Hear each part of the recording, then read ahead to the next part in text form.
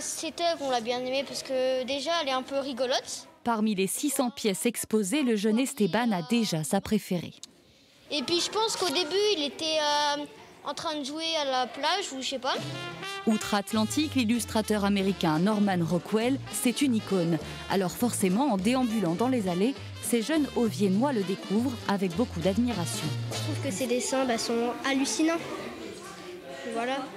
Bah, la façon dont il fait exprimer les choses, on a l'impression d'y être. C'est intéressant. C'est intéressant à voir. Il y a plein, il y a plein de styles. J'aime bien les dessins et euh, bah, on apprend plein de choses sur lui.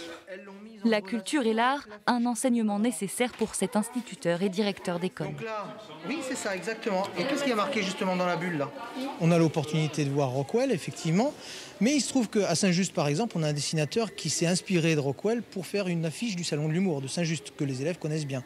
Et donc, à partir de là, ben, on peut notamment euh, ben, faire une recherche un peu historique de cette affiche et, découvrir, du moins, euh, et découvrir l'artiste. Modèles originaux ou reproductions, pour la première fois, les illustrations de l'artiste font leur entrée au Centre international du dessin de presse. Une exposition rendue possible grâce au travail passionné du collectionneur Serge Oriot.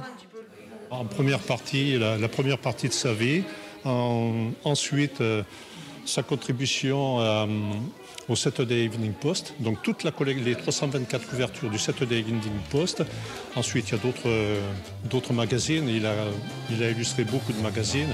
Illustrations, mais également affiches publicitaires ou une de presse, l'univers Rockwell est à découvrir jusqu'au 13 août à Saint-Jules-Martel.